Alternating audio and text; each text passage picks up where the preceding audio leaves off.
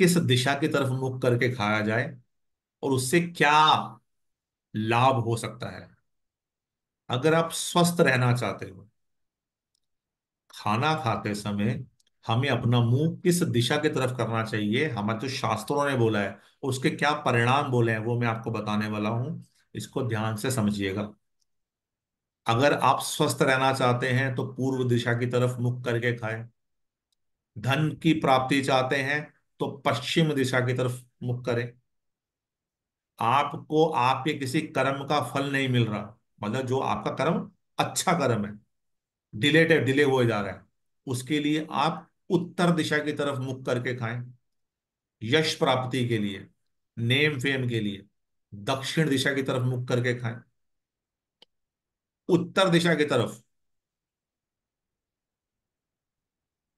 मुख होकर खाने से रण आता है।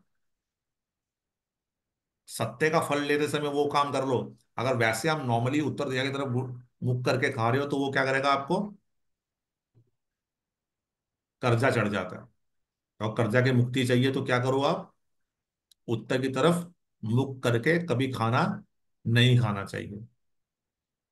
जिस जगह, जिस बेड पे हम सोते हैं, जिस जो भी आपका सोने का स्थान है, उस पे बैठ के खाने को हाथ में लेके, गोद में रख के किसी भी खाने को लोग क्या करते हैं आज के खाने गोद में रख लेते हैं ना कोई कुछ भी खाने का सामान, वो कभी नहीं करना चाहिए। जब कोई खाना परोस रहे हो आप, परोसने के लिए किचन से हम डाइनिंग टेबल तक वो सामान लेके जाते हैं या जहाँ बैठ के खाना है वहाँ लेके जाते हैं, जो जिस भी जिस भी चीज़ में भोजन हो, उसको आप लेके जा रहे हो सर्विंग एरिया में, उसको आपने दोनों हाथों से पकड़ना। एक हाथ से नहीं, और कभी भी बाएँ हाथ से पकड़ के ना लेके जाना। कभी भी